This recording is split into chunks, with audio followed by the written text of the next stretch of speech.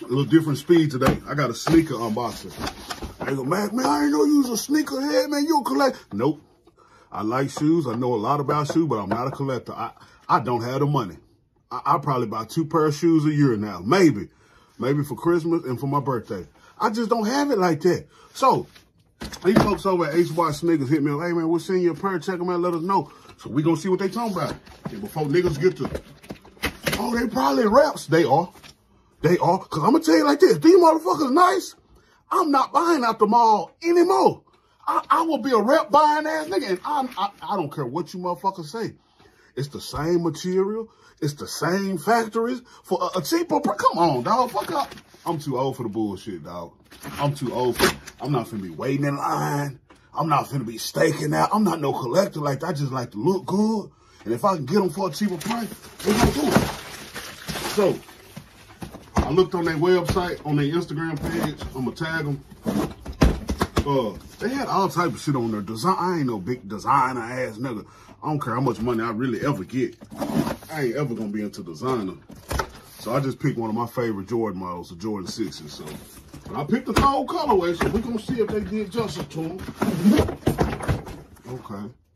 Box look, oh, well, whatever. Okay. They got the tags right. Let's see what we got. And I'm just now opening these. Ooh. Okay.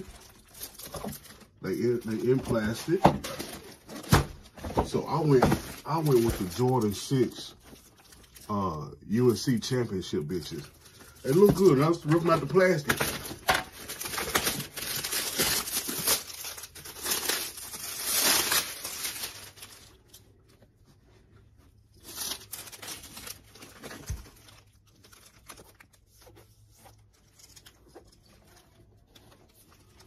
I guess that's just from shipping.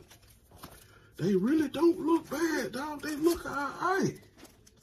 They look alright. They look alright. Now for the price, can you beat it? No, you can't. Hold on, I got a pair of real sixes. Like I said, I only be buying shoes for my birthday. I bought these for my birthday. That real deal. You can tell I've been wearing these bitches. And these what just came.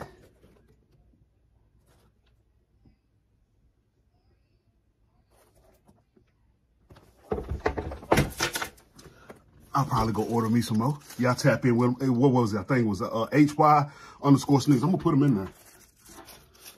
I give I give them a decent review though. Out of ten, you know, you know, you know, that's a ten.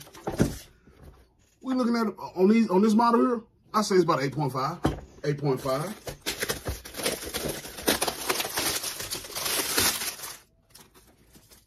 So for the price though,